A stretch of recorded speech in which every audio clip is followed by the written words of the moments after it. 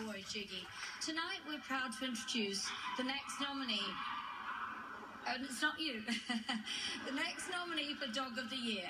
Because he also happens to be very dear to Jiggy and me. He's your creator, really. His name is Wacha, and he was rescued just a little over a year ago by our very good friend Andy Cohen. Andy has his own talk show, he's a best selling author. But before Wacha came along, he was kind of lonely. He was afraid of commitment. And like all of us, he needed something meaningful outside of work.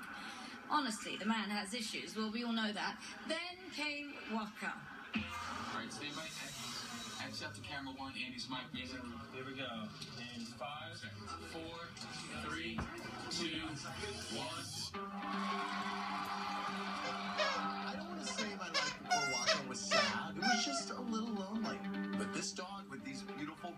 eyes came into my life, and he opened up my heart.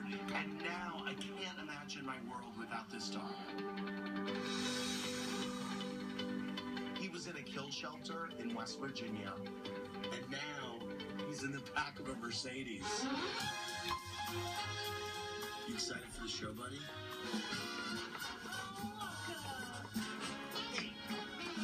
You gonna sit in for our rehearsal?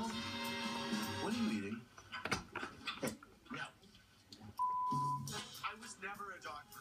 I mean, this is my first dog I've ever owned in my entire life. Now all I want to do is talk about dogs. He has my heart. He owns it. I'm carrying his poop. I mean, stay, buddy.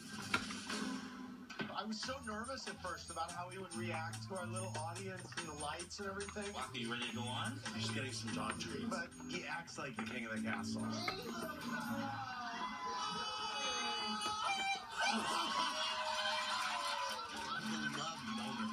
When he runs out there. He's pretty famous now. He's got a big following on Instagram. He's so good. Look at his paws. This dog rescued me. He absolutely did. He makes me emotional sometimes just by a look he gives me. I often think about if there was one thing that I could say to the dog that he would understand. I want him to know you're home. I'm never leaving. This is us.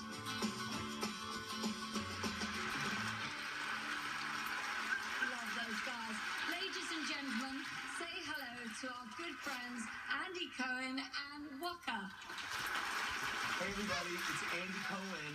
Wacha and I are so excited, you can't tell because he's chewing a bone, about his nomination for Dog of the Year. Keep watching to find out who wins. Are you gonna win, dude? He's chewing his bone.